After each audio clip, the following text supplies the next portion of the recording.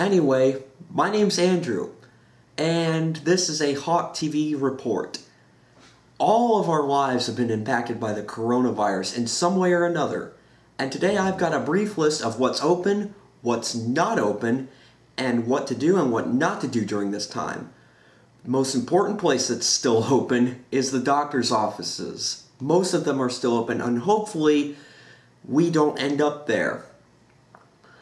Grocery stores, farmers markets, and produce stands are also still open, and pharmacies and big box stores like Target and Walmart are also still open. A lot of restaurants are still open as well, but only for takeout because Florida Governor Ron DeSantis issued an order stating that restaurants can only do takeout, no dine in, until further notice.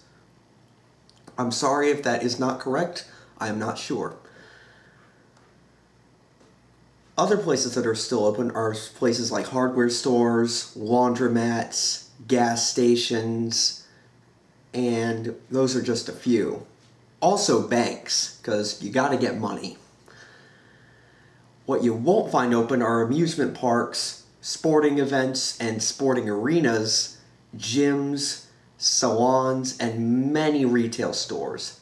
These are shut down to help slow the spread of coronavirus. So, what can you do if you're stuck at home like me and you have practically nothing to do? You can go out and ride your bike or take a walk. You can play video games or board games. If you have kids, you can play with them, color with them, play video games with them, bake cookies with them, or watch a movie with them. Some people are using the time, like one of my friends remodeled her room.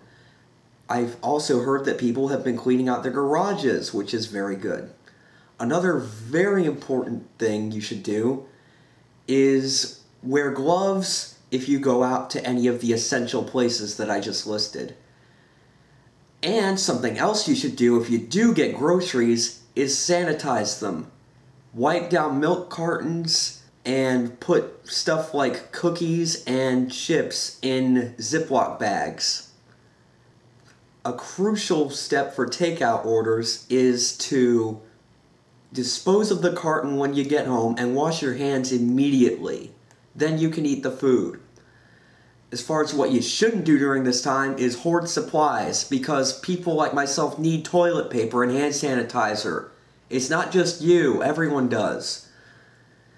If you have a cough, fever, or any other symptoms of coronavirus, such as shortness of breath, call your doctor right away. And also cover your mouth when you sneeze or cough. And that about wraps up this edition of the Hawk TV News Update. I'm Andrew Carlstedt, and I'll see you later. Stay tuned.